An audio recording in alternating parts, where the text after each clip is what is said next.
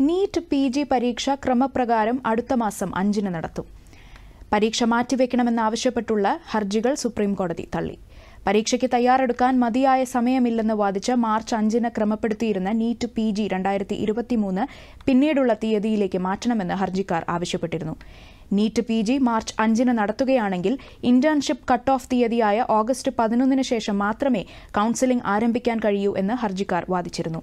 എന്നാൽ മുൻ നിശ്ചയിച്ച പ്രകാരം നീറ്റ് പരീക്ഷ നടത്തുമെന്ന് സുപ്രീംകോടതി വിധി പ്രസ്താവനയിൽ പറഞ്ഞു.